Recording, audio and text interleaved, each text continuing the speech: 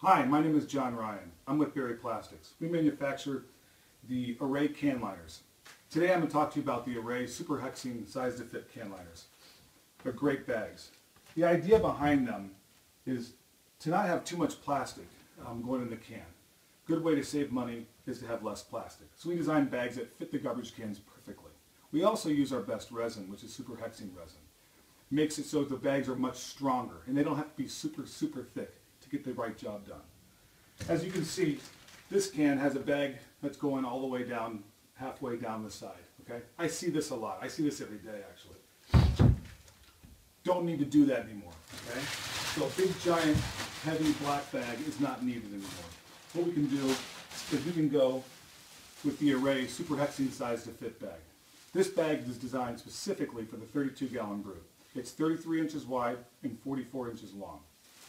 And I'll show you how it fits.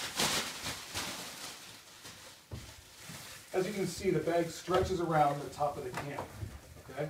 And that's all it needs to do, is get around the top of the can. As you can see, fits really snug, and you don't have to worry about it falling in.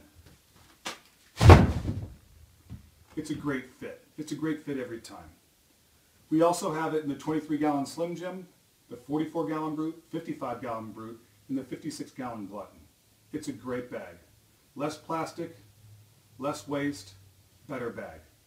Thank you.